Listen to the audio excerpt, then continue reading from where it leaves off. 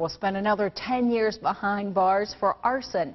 And today, his victims in Story County finally got the chance to address him face to face for the crimes he committed. Our Vanessa Peng joins us from the Ames Live link with that story. Vanessa?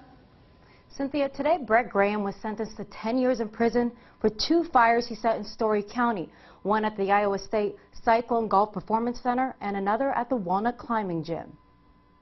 For victims of the burned down Kelley Walnut Climbing Gym, it's like the embers are still burning, even though this fire happened nearly 10 months ago. The fact of losing our barn had a tremendous effect on my family. It was like losing a part of our family. At a sentencing, victims faced the convicted arsonist, 20-year-old Brett Graham, a former volunteer firefighter. It's hard for me to understand how you could do such an act against others for your personal gain and self-satisfaction. So I'm sorry to see it go. It was part of my social life. I was serving the community. I've been here for 30 years. Graham was stone-faced when the victims took the stand, but had tears when it was his turn to speak. I've had a lot of time to sit and think about what I've done and the people I've hurt. One, I hurt my family, which hurt me the most. But two, I've hurt these people right here.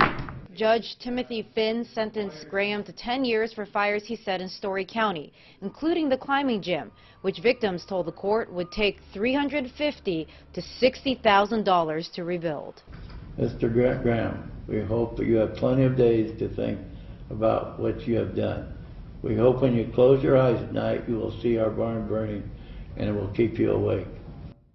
Graham is currently serving another 10-year sentence for more fires he set in Boone County. Cynthia? Vanessa Peng, thank you. A follow-up for you tonight. Still no tips